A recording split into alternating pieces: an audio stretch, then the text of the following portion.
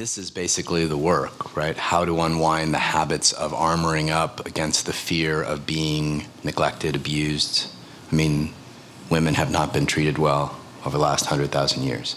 So in your nervous system, in your body, right, there's, of course, there's mistrust, which is why, you know, I teach so much about leading from the masculine in a way that can be trusted, right? Because it's not just, just for those of you who haven't heard this spiel, it's not just what she's gone through in her own life as a woman, but she's carrying the collective psyche of abuse, neglect, I mean, all the way, generations and generations and generations through her body. Um, so, what stops you is you get afraid, and then what? Um, I just started jump ship. Okay. So what stops you is not that you get afraid. What stops you is what you do with that fear. Okay. Yeah. Right. Avoid, so if the feminine, yeah. So the feminine responsibility in an intimate moment, if you want to deepen any intimate moment, the feminine responsibility is to reveal. I'm afraid. I'm afraid. I'm afraid. I'm scared. Right. Um, most men do all right with that. She says, "I'm scared you're going to hurt me," or "I'm scared you're going to leave," something like that. Most men okay with that? You gotta, gotta let them know, man. Because they, they, they don't know. They think that if they show you they're afraid, you will find it unattractive. No, no. It's actually the opposite. Now, if you project a bunch of shit on them while you're, you know, while you're doing that, then yeah, they'll like, okay. You know, daddy. Uh, um, it's funny. I figured I was gonna. I had the joke of well, on Father's Day we can work out all our daddy issues on Father's Day.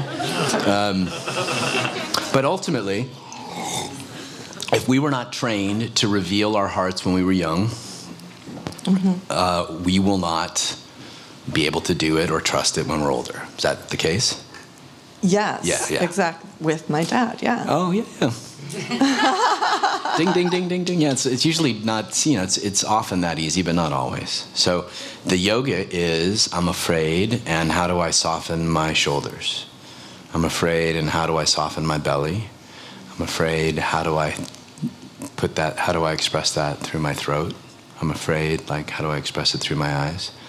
I'm afraid, how do I, how do I fall back in my body versus forward in my body so that I can actually invite him to be with my fear.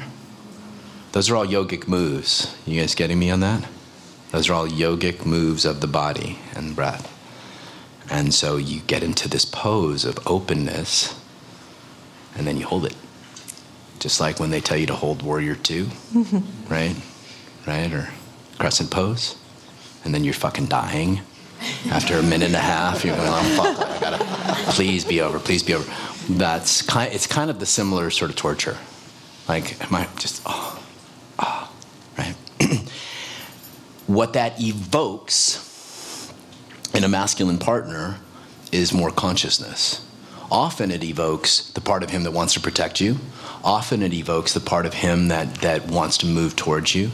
Now, if you add pleasure or yearning right? Like she was talking about yearning. If you add yearning to the fear, it becomes really quite sexy. Like yearning and yearning plus pleasure plus anything else is pretty hot. Right? You can add, yearn, I said this the other, uh, in February, I think, where Dominic was talking about, yearning and pleasure are kind of like the lubricants for the masculine nervous system to be able to take virtually anything else you can give him.